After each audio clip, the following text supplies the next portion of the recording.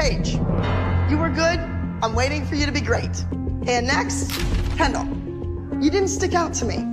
Next is Brooke. Next, Nia. You're third on the pyramid. You were third overall high score. And Mackenzie.